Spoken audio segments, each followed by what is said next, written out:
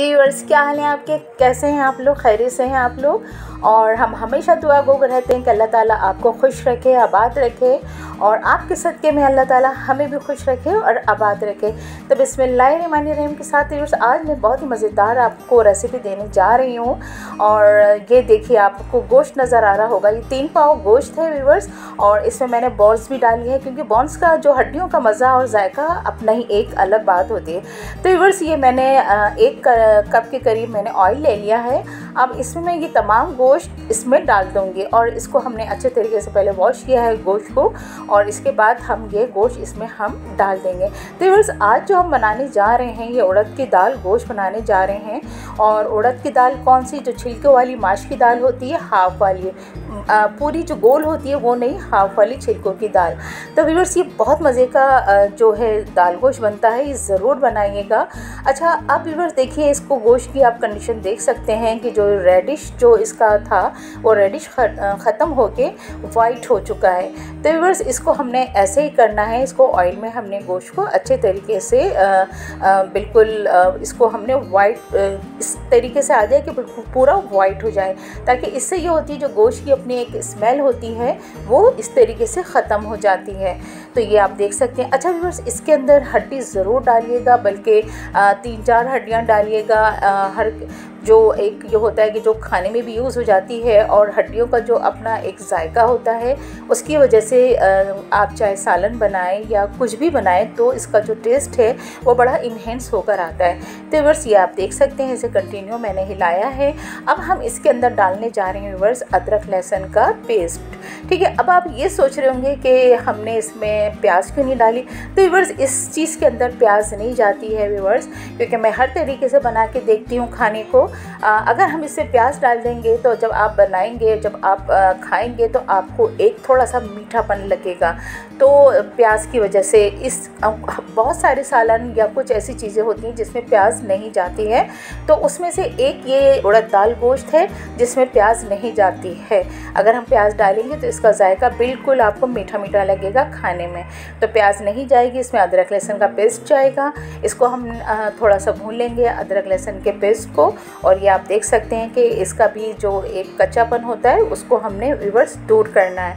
तो इसके बाद हम कुछ स्पाइसेस इसमें हम डालने वाले हैं। तो ये आपको पिसा हुआ धनिया है, ये हमने क्या कहते हैं one and half teaspoon लिया है, लाल मिर्चें है, ये मैंने टू टेबल स्पून ले लिया। व्यूवर्स आप चाहते हैं तो आप इसको कम कर लीजिएगा। हल्दी है हाफ़ टी स्पून और नमक है हसबे ज़ायका। ये हम इसमें इसको इसमें डाल देंगे व्यूवर्स ये डालने के बाद इसको हम अच्छे तरीके से आ, मिक्स कर लेंगे। अच्छा व्यूवर्स इसके अंदर देखिए एक और चीज़ मैं बता दूँ अब आप ये सोच रहे हैं इसमें टमाटर भी नहीं जाता है और ना दही जाएगा। ये बहुत सिंपल रेसिपी है व्यूवर्स और बहुत ईजी है। जब तक गोश्त ना गल जाए तो ये समझ लें कि आपका ये खाना बड़े जल्दी और झटपट बनने वाला है। और इस तरीके से आप देख सकते हैं कि सिर्फ़ ये चार स्पाइसेस हैं इसमें। गरम मसाला हम बस डालेंगे, बाद में डालेंगे, अभी हम नहीं डालेंगे, अभी हम जो स्पाइसेस हैं, गोश्त के साथ अच्छे तरीके से भून रहे हैं और ये आप देख रहे हैं। अभी अभी ये इस वक्त बड़ा ज़बरदस्त किस्म का लग रहा है। फिर मैं बता दूँ, तीन पाव गोश्त है, ठीक है? अच्छा मिर्च मसाला आप अपने हसब ज़ायका भी ले सकते हैं, कम भी कर सकते हैं। जितना आप खाते हैं, आप उतना कर सकते हैं। नमक हमेशा देख के डालेंगे वर्स ज़्यादा हो गया तो मुश्किल कम हो जाए तो मसला नहीं है, वो हम बाद में भी डाल सकते हैं। तो वैसे आप देखें, हम ये स्पाइसेस साथ ही साथ भून रहे हैं। बस ये ख्याल रखिएगा भूनते हुए कि ये नीचे से जले ना, क्योंकि जलने की व्यूवर्स एक जो अजीब किस्म की स्मेल होती है ना, वो फिर खाना पूरा ख़राब कर देती है। ठीक है व्यूवर्स तो ये देखिए, इसको आपने इस तरीके से भूनना है। बस ये सारी व्यूअर्स इसके अंदर बुनाई का ही टाइम होता है, जो कि हमें इसको करना पड़ता है। तो व्यूवर्स आप ही लोग सोच रहे होंगे कि इतने दिन से आपका किचन सिस्टर कोई वीडियो नहीं डली। व्यूवर्स मेरी बहुत तबीयत ख़राब थी, जिसकी वजह से मैं कोई वीडियो नहीं डाल पा रही थी। तो मैं इसके लिए आप सबसे बहुत माजरत ख्वाह हूँ। तो व्यूवर्स आपको पता है कि मैंने आपको थोड़ी इसमें टिप देती हूँ कि ये गोश्त किस तरीके से गलेगा। तो व्यूवर्स आप बिल्कुल क्वार्टर टी स्पून इसके अंदर थोड़ी सी चीनी डाल दीजिएगा। चीनी डालने से ये होता है कि आपका ये जो गोश्त है, जो एक घंटा लेगा, वो आपका आधा घंटा, पौन घंटे में गल जाएगा। तो ये बड़ी अच्छी जो टिप है व्यूवर्स मैं अपने खानों में यूज़ करती हूँ। और जो यूज़ करती हूँ, वो मैं आपसे ज़रूर शेयर करती हूँ। तो वर्ष मेरी कुछ तबीयत ख़राब थी, उसके बाद मुझे बहुत ज़्यादा वीकनेस हो गई थी तो मैं कोई भी वीडियो नहीं डाल पा रही थी, जिसकी वजह से मैंने ये देखा कि मेरे सब्सक्राइबर कुछ कम हो गए तो प्लीज़ आप लोग ऐसा मत करें, मुझे आप मुझे आप सबकी सपोर्ट चाहिए और आप ही लोग हैं जो मुझे आगे तक ले जाएँगे। अगर आप ही लोग पीछे हो गए तो वर्ष मेरा क्या होगा? तो प्लीज़ ऐसा ऐसा मत करें। कभी ये सोच लिया करें कि वीडियो नहीं आ रही है तो कोई ना कोई प्रॉब्लम तो होगी। तो मैं आप सबसे एक दफ़ा और माजरत खाऊँ कि मेरी वीडियो बहुत ज़्यादा लेट हो गई है और बकरीद की जो मैंने सोचा हुआ था कि मैं आपको ये दिखाऊँगी, ऐसा करूँगी, वैसा करूँगी, मैं कुछ भी नहीं कर पाई हूँ। तो व्यूवर्स आप प्लीज़ आप मुझे सपोर्ट करें, मेरे सब्सक्राइबर प्लीज़ कहीं भी नहीं जाएँ, बल्कि जो सब्सक्राइबर नहीं है, वो भी मुझे सब्सक्राइब करें, मेरी वीडियो को लाइक करें और बेल आइकन को लाजमी दबाएँ। तो व्यूवर्स आप ये देख रहे होंगे कि इसकी भुनाई जारी है। तो व्यूवर्स अब हम इसमें डाल देंगे पानी, क्योंकि हमें गोश्त को भी गलाना है। और हमें दूसरी चीज़ भी आपको दिखानी है। ठीक है, हमारा ये मसाला अच्छा भुन चुका है। अब हम इसमें इतना पानी डाल देंगे कि गोश्त जो है ये गल जाए। ठीक है व्यवर्स? ये आप देख सकते हैं। तो बस अब आप ये देखें, इसको अब हम इस, इसको कवर कर देंगे ताकि गोश्त हमारा गलने पर आ जाए। पहले तो हम फुल फ्लेम रखेंगे कि हमारा ये जो पानी है उबल जाए और उसके बाद इसको हम स्लो फ्लेम पे रखेंगे ताकि गोश्त हमारा बहुत अच्छा गल जाए। तो अब हम आ जाते हैं दाल पर।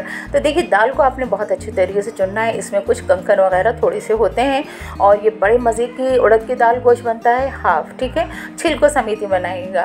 तो अच्छा इसको अच्छे तरीके से चुनने के बाद अच्छा दाल में बता दूँ, आधा किलो है तीन पाव गोश्त, आधा किलो दाल, ठीक है? आप चाहे तो कम भी कर सकते हैं, आप चाहे तो इसको बढ़ा भी सकते हैं। तो वर्स ये इसके अंदर ये करने के बाद इसको हमने अच्छे तरीके से वॉश किया। दो से ढाई घंटे आप इसको थोड़ा सा भीगने के लिए भी रख दें।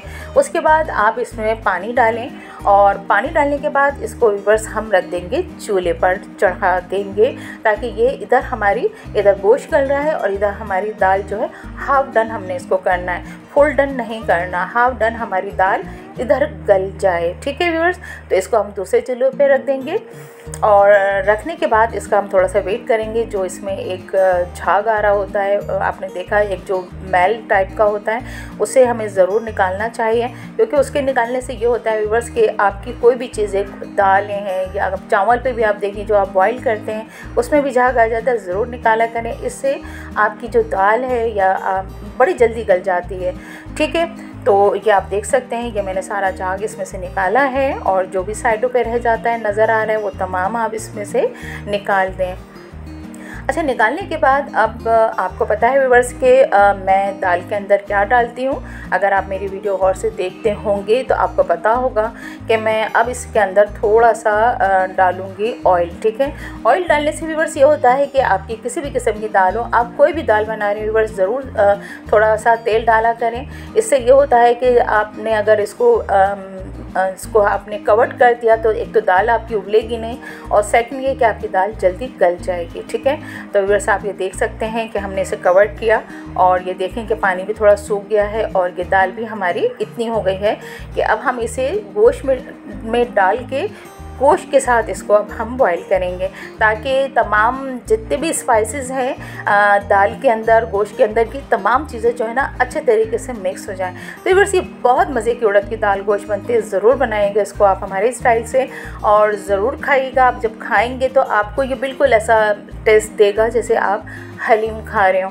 तो ये बहुत मज़े की दाल बनती है ज़रूर बनाएँगे। देखिए कितना सिंपल है, कोई इसमें ऐसे ख़ास इंग्रेडिएंट्स नहीं गए हैं कि हम बहुत परेशान हो। ना टमाटर है, ना प्याज है, ना दही है, सिर्फ़ जो चंद स्पाइसेस जो यूज़ होते हैं घर के, वही है, गोश्त है और दाल है। ठीक है व्यूअर्स तो इसको आपने इस तरीके से करना है और ये करने के बाद तमाम जो दाल है, हम ये सब इसके अंदर व्यूअर्स डाल देंगे। देखिए, ठीक है? तो ये तमाम दाल हम इसमें डाल देंगे और ये दाल डालने के बाद तो बस एक दफ़ा फिर मैं आपसे कहती हूँ कि प्लीज़ प्लीज़ मेरा साथ मत छोड़े। मुझे आप लोगों की बहुत सख्त ज़रूरत है। आपकी सपोर्ट की बहुत सख्त ज़रूरत है। देखिए व्यूवर्स आपका साथ रहेगा तो मैं बहुत, मैं आप लोगों के लिए वैसे ही बहुत दुआ करती हूँ और आप लोगों का साथ मेरे लिए बहुत ज़रूरी है। तो प्लीज़ मेरा साथ नहीं छोड़िएगा। कुछ वजूहत थी जो मैंने आपको बता दी हैं। वो यही वजूहत थी कि मेरी तबीयत ठीक नहीं थी। तो बस इसको अब हम कवर कर देंगे, ठीक है?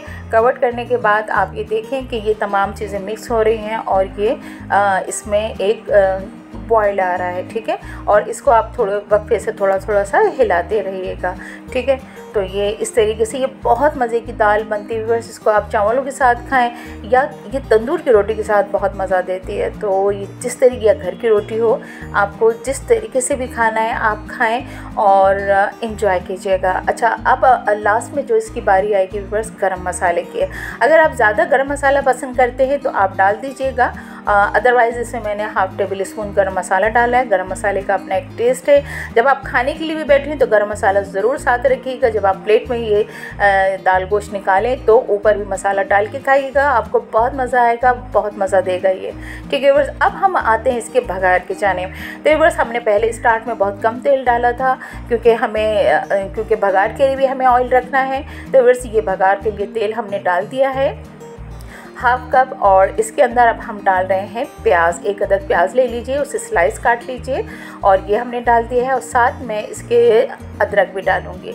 ठीक है? अदरक से ये होता है कि आपको पता है माश की दाल, क्योंकि मैंने अदरक, लहसुन, पिसा हुआ भी डाला है इसके अंदर, उसमें भी अदरक थी और इसमें भी है। इसमें जो एक बादी होती है माश की दाल में, चूँकि हमने बॉयल किया, उसका पानी हमने ड्रेन आउट कर दिया था, वो भी निकल गया और अदरक से बड़ा अच्छा होता है। अब हम इसमें अदरक डाल देंगे व्यूवर्स ठीक है? ये डालने के बाद ये देखिए, ज़बरदस्त किस्म का हमारा भगाड़ तैयार हो चुका है। इसे आपने डिश आउट करना है या आप अपनी देगची के अंदर ही ये भगाड़ डाल दें अदरक और प्याज का भगाड़ जब आप डालेंगे तो व्यूवर्स ये बहुत मज़ा देगी और ऊपर से भी थोड़ी सी अदरक आपने डाल देनी है और ऊपर से गर्म मसाला डाल देना। ये देखिए, ज़बरदस्त किस्म की हमारा उड़द की दाल गोश्त तैयार है। व्यूवर्स ये खाने के लिए भी बहुत मज़ेदार है। ज़रूर बनाइएगा, ज़रूर खाइएगा। और प्लीज़ मेरे साथ आप लोग जुड़े रहें, मुझे बहुत खुशी है।